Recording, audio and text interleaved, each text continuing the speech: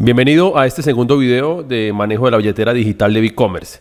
En este video te voy a enseñar aquí rápidamente cómo retiramos las ganancias de BigCommerce, las que tenemos acá en este momento en saldo actual billetera.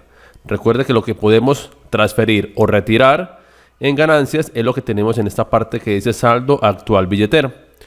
Para eso vamos a ir aquí a la opción de billetera digital y luego venimos a la opción que dice retirar ganancias. Le damos clic acá y aquí nos sale en la parte de arriba, nos recuerda cuánto saldo tenemos en billetera y cuánto hemos ganado. Entonces acá en la parte de abajo vamos a mirar lo que son los aspectos generales. Eh, el monto a solicitar se debe de colocar aquí en dólares, eh, la cantidad que vaya a solicitar. Recuerda que los retiros tienen una comisión por procesamiento y envío del 5%, para que lo tengas en cuenta.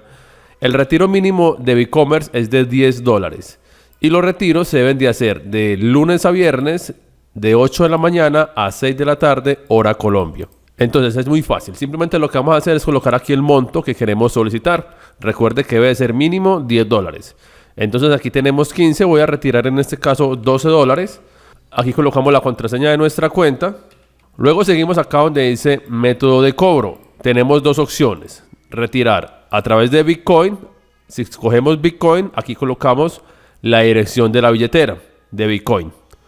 Y si tenemos una cuenta en Payer, aquí colocamos entonces, escogemos Payer y aquí colocamos el correo o Payer también da un número de cuenta eh, específico, aquí también lo podrías colocar, cualquiera de los dos. En este caso voy a decir que voy a solicitar por Bitcoin. Lo que hago es colocar aquí la dirección de Bitcoin. Y le damos clic donde dice realizar solicitud. ¿Está seguro? Le digo que sí.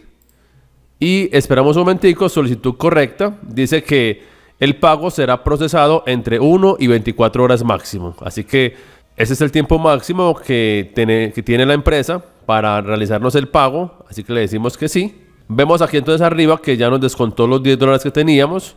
Y aquí en la parte de abajo vemos el historial de los retiros. Aparece la fecha, el usuario, el egreso, cuánto hemos retirado. La observación es la dirección de la billetera de Bitcoin o la cuenta de Payer a donde hemos eh, solicitado. El estatus está pendiente de procesar y ya cuando está aprobado nos aparece aquí pago enviado. También tenemos una opción para colocar acá, para no tener que estar colocando la billetera de Bitcoin o la cuenta de Payer cada vez que vayamos a retirar. Tenemos una opción aquí en la opción de perfil, aquí en la parte de arriba, dice formas de cobro. Entonces lo que podemos hacer es configurar de una vez en esta parte la dirección de Bitcoin a la que siempre queremos retirar, en este caso supongamos sea esta, y también podríamos configurar una cuenta de Payer. Supongamos que lo voy a colocar esta cuenta de Payer y para guardar estos datos lo que hacemos simplemente es acá colocar la contraseña de nuestra cuenta de BigCommerce y le decimos guardar, cambio satisfactorio.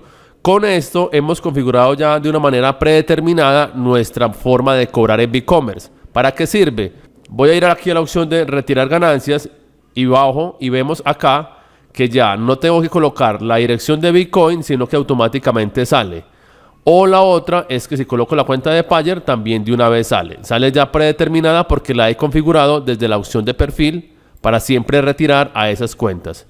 Otro detalle es que si usted desea cancelar la solicitud, una vez hecha, tiene la opción, antes de que hagan el pago, tiene la opción de cancelar la solicitud en esta parte. Si, yo no quiero eh, cobrar porque necesito el dinero para hacer una activación o lo que, lo que sea, pues simplemente le digo a la empresa, no, no quiero retirar. Antes de que me paguen, digo cancelar solicitud y le digo que sí, petición cancelada y ya el dinero vuelve nuevamente a mi cuenta. De esa manera puedo cancelar antes de que me paguen, porque ya después de que paguen, ya el dinero ya se envía directamente a la cuenta eh, o a la dirección que hayan enviado.